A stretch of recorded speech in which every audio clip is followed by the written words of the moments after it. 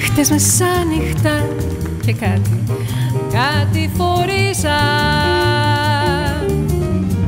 Στη μικρή την πλατείτσα που σε γνώρισα.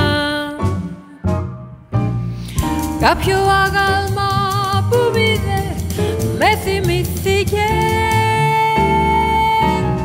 Και το πόνο να ακούσει δεν αρνήθηκε.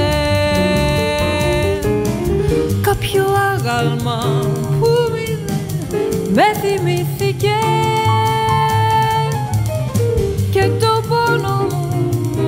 να ακούσει δεν αρνήθηκε.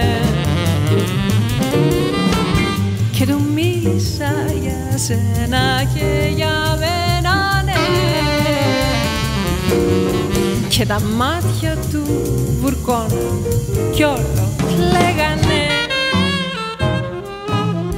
Του είπα για το θέσιμο σου και για τα άλλα σου.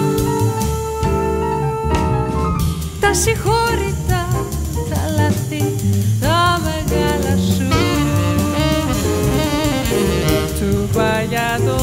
πέσιμο σου και για τα άλλα σου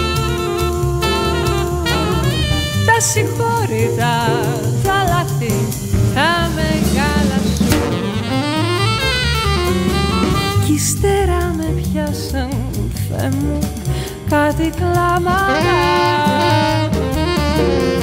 Που με βρήκανε κουρέλι τα χαράματα